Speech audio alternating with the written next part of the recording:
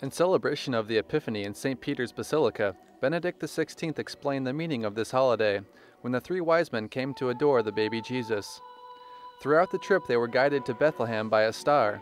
The Pope said they were learned men seeking the signature of God in creation.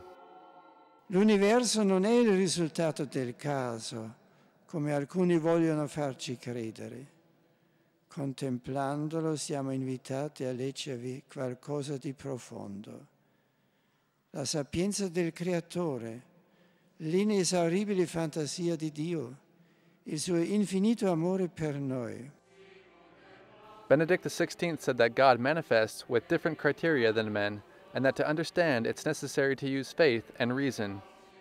Dio non si manifesta nella potenza di questo mondo, ma nell'umiltà del suo amore, quell'amore che chiede alla nostra libertà di essere accolto per trasformarci e renderci capaci di arrivare a colui che è l'amore. The Pope encouraged the pursuit of the Word of God, just as the three wise men followed the star to reach Bethlehem. Lasciamoci guidare dalla stella, che è la parola di Dio.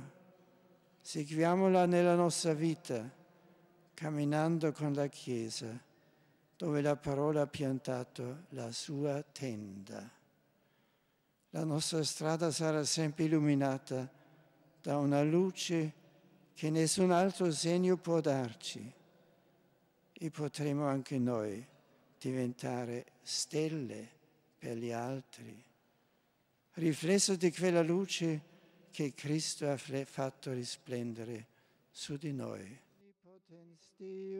After the Mass, the Pope prayed the Angelus from the window of his residence. There he encouraged us to follow the example set by the Virgin Mary.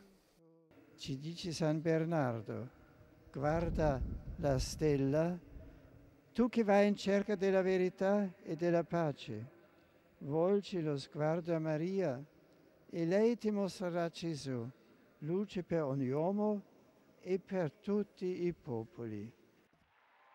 Also in attendance at the Angelus in St. Peter's Square were some characters of the medieval court who dressed for the occasion.